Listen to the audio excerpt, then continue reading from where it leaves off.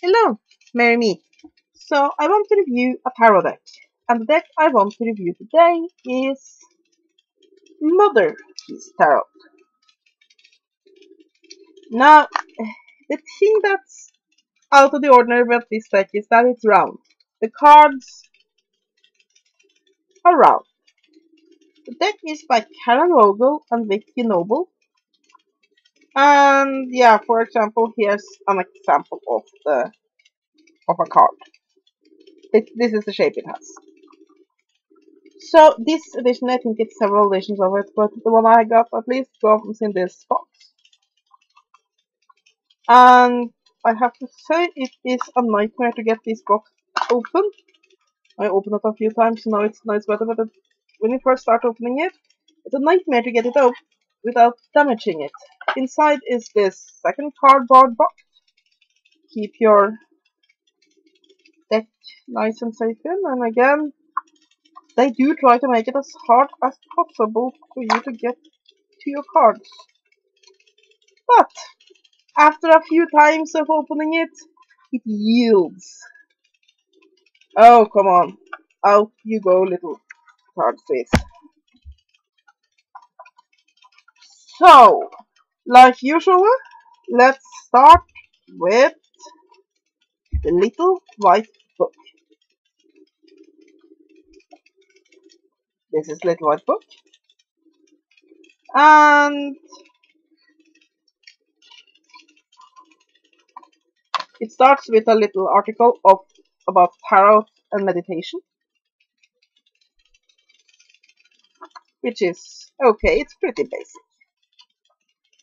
Then it speaks about the major arcana, uh, and then it has the um, major arcana meanings. It's you don't get much here. You get a small paragraph for each card. And let's see, let's just show you the. Then you have a small section on the minor arcana. I do like that, that they explain what the major and minor arcana is and so on. They'll get a point for that. Well done. Then you have the minor arcana ones, which just have a sentence each. That's not good enough. And that. Then you have a little section on numerology. And then we have a layout, a tarot spread for the Motherpeace Tarot. And I like that. I do like it when these little white books uh, have a reason for their existence in that they give me spreads I can't find anywhere else. I like that. So, let's look at the cards. Right off the bat, let me just tell you, shuffling these babies is a nightmare. If you ever had problems shuffling tarot cards, yeah. Well, here you get one uh, thing that just tells me about those that has created them. Isn't it always fun when you accidentally shuffle these commercial and informational cards into the deck while reading and it pops up in the reading? Then we have what's this? Traditional Charge of the Star Goddess. It's a prayer, useful enough. And here we have some of the cards. I'm not going to show you all of them because then we would be here until tomorrow because this is a traditional tarot deck, meaning there are uh, 78 cards. But yes, we have the proof. We have the magician. And as you can see, here we have the high priestess. It has a very ethnic feel to it. It is slightly based on Rider Waite, and by slightly I mean it has some of the same ideas, but it does go its own ways. The symbolism is nice. Uh, it do have a very earthy and feminine feel to it. So um, definitely, if you are into um, working with goddess energies and such, this could be a very good tarot deck for you.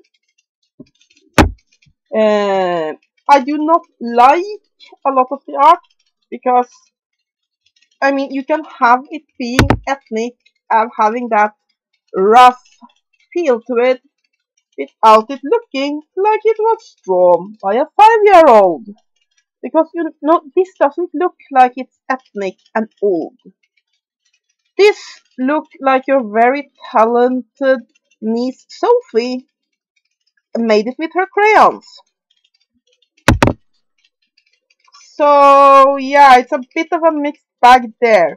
The symbolism is good. I do like the feel of it, which makes it feel very earthy, very raw. But the drawings themselves, no. Uh, I do like the Wheel of Fortune though, that, that's sort of cool. So, uh, as for the card, the card stock is terrible. I mean terrible. It is flimsy, it's like laminated paper. This is not good enough, people. Not good enough.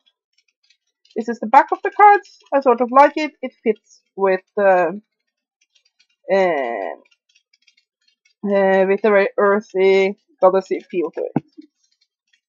So let's find some. Um, uh, now I've shown you some major Arcana cards. Let me find some minor Arcana cards, and we can have a look at those as well. Here's some ones for you. So is this a deck you should be getting? Well, if you're into goddess, working with goddesses, and the earth goddess kind energy, uh, and feminine uh, spirituality, you might want to look into this. Uh, otherwise, I feel that it's pretty gimmicky and artwork doesn't have a good enough quality. And while the symbolism is pretty good, and I mean that's the most important thing, there are just better tarot decks out there, and let me tell you, shuffling with this is not fun. Let me observe me making a fool of myself.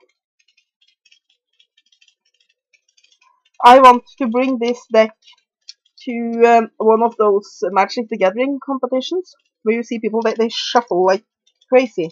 I if you can um, shuffle this like that, I'll give you an ice cream. And I'll watch all the paper cuts and crying and screaming that uh, will ensue. That would be fun. Because I'm odd that way. But, yes, like I said, you can shuffle it. Some people have asked me, can you shuffle this deck? Yeah, yeah, sure you can. You, you get used to it. But since the cards are so thin and flimsy, you have to be very, very careful. At the same time, it just odds it's a little bit too big. If you have small hands, you'll have a problem. And since they are thin and flimsy, the problem is they're sharp. This I hope you like your tarot cards with blood on them, because you will have that soon. So, I've heard so much talk about this deck, and I'm a bit underwhelmed, to be honest. I think that for the most part this is gonna sit in my tarot collection as an oddity, because while it has a good idea, and I like the goddess energy feel of it, and the symbolism is great, it doesn't really add a lot that it's round, it just makes it more difficult to handle. The cardstock is horrible. I mean, it could have added something that it's round, but it's... I think that if they... What I should have done is that I should have then made the signs that were also round. So yeah, it is a traditional tarot deck. Some people have asked, is it a oracle deck or a tarot deck? It is a tarot deck. It has the traditional 78 cards, a minor arcana, a eh, major arcana, all of that.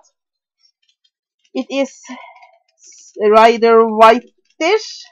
Uh, the symbolism is great, but too flimsy, and the artwork is ugly, to be quite honest. I mean, you can do it rustic without making it ugly. So, yeah, would I recommend this? It depends, like I said, if you're very much into goddess energy and working with the earth goddess, this might be the deck for you. If what I've shown you today really make you think, oh, I really want that deck, then it's a deck for you. I mean, it's not bad. But would I recommend that if you're just regular tarot reader wanting something new, to go out of your way to get this deck? No. I'll give it 6 out of 10. It's okay, but it's not more than okay. And let me see if I can get it back in this little box where it belongs. I keep my uh, decks in the box. Uh, I know a lot of people that buy um, and make it. Oh, come on. Like I said, it wants to be stubborn. And that uh, make and buy um, bags for the tarot cards, and I'm sure that's great.